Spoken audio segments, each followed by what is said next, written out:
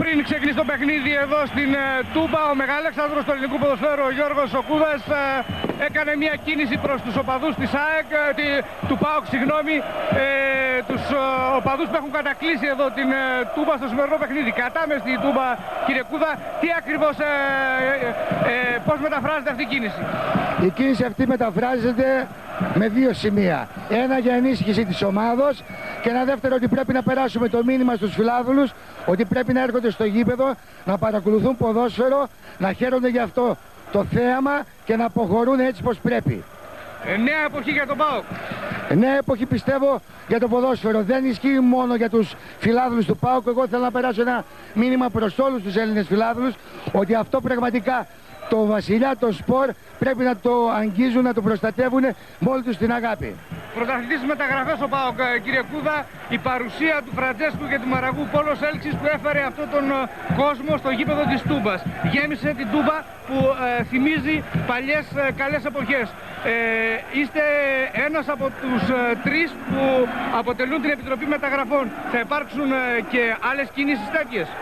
Εμείς θα προσπαθήσουμε να φτάσουμε τον ΠΑΟΚ εκεί που πραγματικά τον οραματιζόμαστε.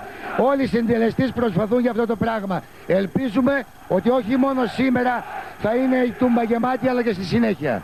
Πολλές φορές έχετε γίνει ο πυροσβέστης για α, μη αποδεκτά, α, αποδεκτές κινήσεις των οπαδών και θα ήθελα να μας πείτε όσον αφορά την διοίκηση, ποιο είναι το σκεπτικό της να διασφαλίσει τη, ε, τα, την αποφυγή εκτρόπων εδώ στην ε, Τούμπα; Αυτό θα το προσπαθήσουμε και ιδιαίτερα εγώ που είμαι πολύ ευαίσθητος σε αυτό το σημείο θα το προσπαθήσω σε μεγάλο βαθμό.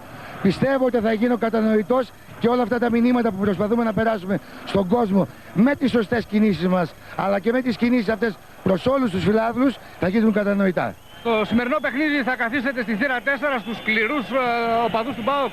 Όχι, σήμερα θα καθίσω να απολαύσω το παιχνίδι πάνω από την κερκίδα, αλλά όποτε μου δοθεί ευκαιρία μπορώ να καθίσω από τον πάγκο μέχρι οποιοδήποτε θύρα. Σε ρόλο πυροσβέστη αν υπάρξει ανάγκη. Αν υπάρξει ανάγκη πάντα. Ευχαριστώ πολύ.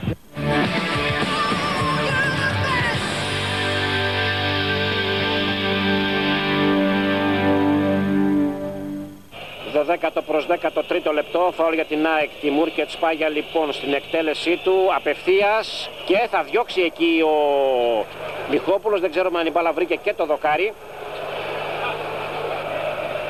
Του Σουνίδη σαν σεντράρι, δεν περνάει η μπάλα προς τον Βρίζα. Νέα σέντρα από τον Μαραγκό, Βρίζας πιάνει την κεφαλιά, η μπάλα out.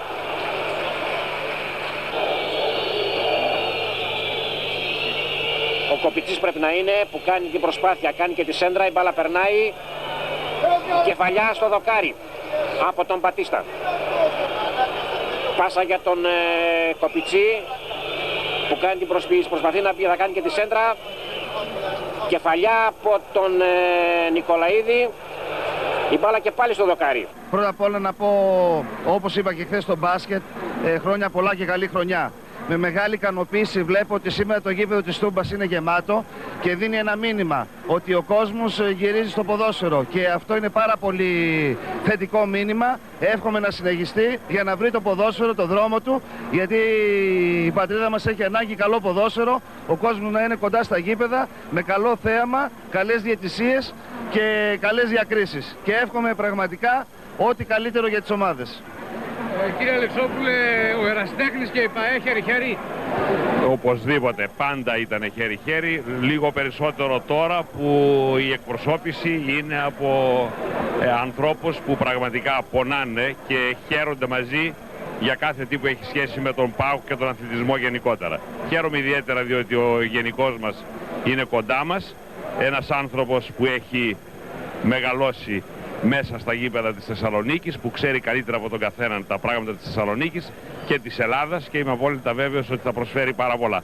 Χθες και πιστεύω θα συνεχιστεί και σήμερα είχαμε μεγάλες επιτυχίες για τον ΠΑΟΚ και ο κόσμος ανταποκρίθηκε, βλέπετε αυτό το φαινόμενο που είχαμε χρόνια να το δούμε. Ο αδερφός του Αντιπρόεδρου της ΠΑΟΚ, ο Γιώργος Ορφανός και ο βουλευτής, πώς θα βλέπει τα πράγματα για τον ΠΑΟΚ; Πα- Δηλώνεται παπιτζής φυσικά. Αυτό είναι το αυτονόητο. Εκείνο το οποίο βλέπω εγώ είναι ότι μπορεί να σχεδιαστεί και να πραγματοποιηθεί μια αντεπίθεση της Θεσσαλονίκης στον χώρο του αθλητισμού και βέβαια η παρουσία του κόσμου, η παρουσία των ε, προέδρων εδώ οι οποίοι είναι αποφασισμένοι να οδηγήσουν όχι μόνο τον ΠΑΟΚ και οι άλλες ομάδες έχουν αυτή τη δυνατότητα πιστεύω ότι σηματοδοτείται μια καινούργια εποχή για τη Θεσσαλονίκη. Ευχαριστώ να αναζητήσουμε και τον κύριο Πατατούδη εδώ. Ευθείας το σούτ από τον Φραντζέσκο και μπλοκάρει την μπάλα ο Ατματζίδης. Και να τώρα ο Κωστής μόνος του πλασάρει, αλλά εκεί η εξαιρετική επέμβαση του Μιχόπουλου.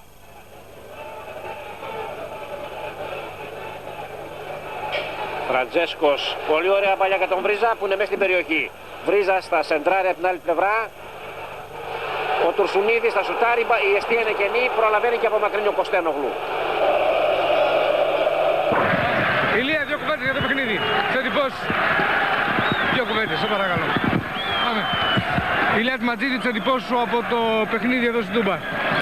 Νομίζω έγινε ένα πάρα πολύ καλό παιχνίδι και οι δύο ομάδες προσπάθησαν για την νίκη. Αλλά νομίζω στο τέλος εμείς είμαστε ε, οι... Κερδισμένοι. όχι κερδισμένοι, αφού δεν κερδίσαμε το παιχνίδι. Ήμασταν οι άτυχοι θα έλεγα γιατί δημιουργήσαμε περισσότερες ευκαιρίες, πιο κλασικές από τον Πάο και πιστεύω ότι έπρεπε εμείς να κερδίσουμε το παιχνίδι. Ε, εκείνο που θέλω να πω ότι πράγματι ο διαιτητής σήμερα έπαιξε πάρα πολύ καλά και αξίζουν συγχαρητήρια και στο διαιτητή. Κερδισμένοι από, την, από πλευράς ουσίας θέλω να πω γιατί για την ΑΕΚ το 0-0 σίγουρα ήταν επιτυχία. Σας κρατάει ζωντανός μες στο πρωτάθλημα. Κοιτάξτε να δείτε, από άλλες συνθήκες θα ήταν σίγουρα επιτυχία. Αλλά επειδή έχουμε μείνει αρκετά πίσω στη βαθμολογία, ε, θα έλεγα είναι ένα καλό αποτέλεσμα, αλλά δεν είναι επιτυχία. Εμείς θέλαμε την νίκη και αυτό προσπαθήσαμε. Αλλά πιστεύω ότι ήμασταν άτυχοι, δημιουργήσαμε περισσότερε ευκαιρίε πιο κλασικές από τον Πάο και μπορούσαμε να πάρουμε το παιχνίδι. Αλλά το ποδόσφαιρο αυτά έχει. Το Ζωή Πάοκ πώς συνεχίζεται. τον είδες, ε, Ο Πάοκ ε, είχε ενθουσιασμό σήμερα με τις μεταγραφές που έχει κάνει η νέα διοίκηση. Ο κόσμος πάντα κοντά του. Γέμισε του, την εύχομαι, ναι, του εύχομαι και εύχομαι πάντα να γεμίζει όχι μόνο η Τούμπα και όλα τα γήπεδα γιατί μόνο έτσι μπορεί να πάει μπροστά το ποδόσφαιρο.